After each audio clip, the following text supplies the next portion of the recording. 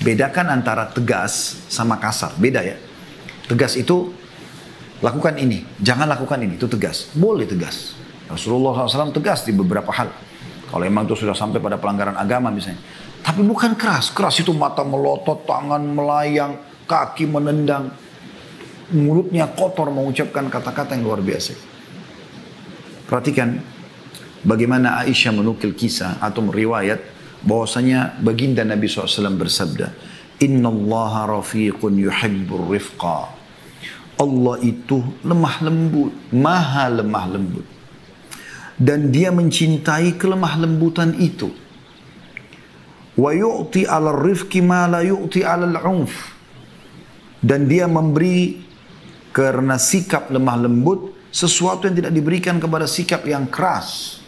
Artinya efek hasilnya beda. Lemah lembut dengan keras. Wa ma la yu'ti 'ala ma siwah dan juga segala sesuatu yang tidak diberikan kepada selainnya. Maksudnya selain lemah lembut. Apa pun metode selain lemah lembut, maka akan efeknya beda dengan lemah lembut. Ya. Kemudian Aisyah berkata juga, Nabi SAW bersabda, "Idza arada Allah bi ahli bait, idza arada Allah bi ahli baitin khairan adkhala alaihim rifqa."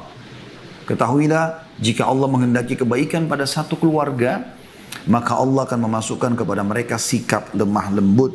Hadis ini riwayat Ahmad, Bukhari, dan juga Al-Baihaqi.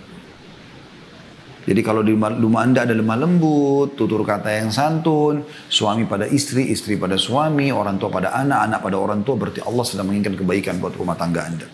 Ini luar biasa. Begitu juga dengan lembaga pendidikan tentunya. Ya.